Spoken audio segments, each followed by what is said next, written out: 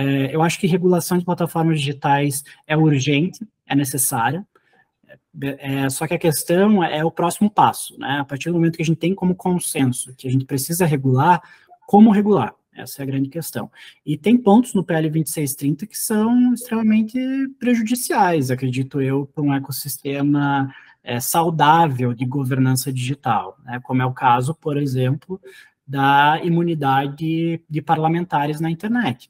Né? Então, assim, a gente precisa amadurecer ainda nesse debate para entender o que a gente ganha e também o que a gente potencialmente vai perder com a regulação sendo pautada dessa forma como ela vem sendo pautada no Brasil. Então, por exemplo, né, se, se o objetivo original era combater desinformação, e aí você vai lá e, e escreve que você está estendendo a imunidade parlamentar para a internet de uma forma extremamente opaca, sem, muito, sem esclarecer muito como isso vai acontecer na prática, está, na verdade, dando um grande tiro no pé, porque você vai proteger, blindar contas de parlamentares que a gente sabe por pesquisas empíricas que são é, pontos nodais na cadeia de desinformação na internet brasileira.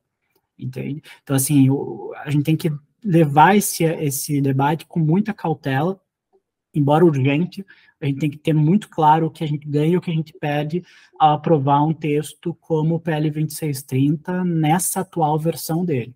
Então, assim, eu só queria deixar isso claro, né, que, assim, a favor da, da, da regulação de plataformas digitais, acredito eu, todos deve, deveríamos ser, tá?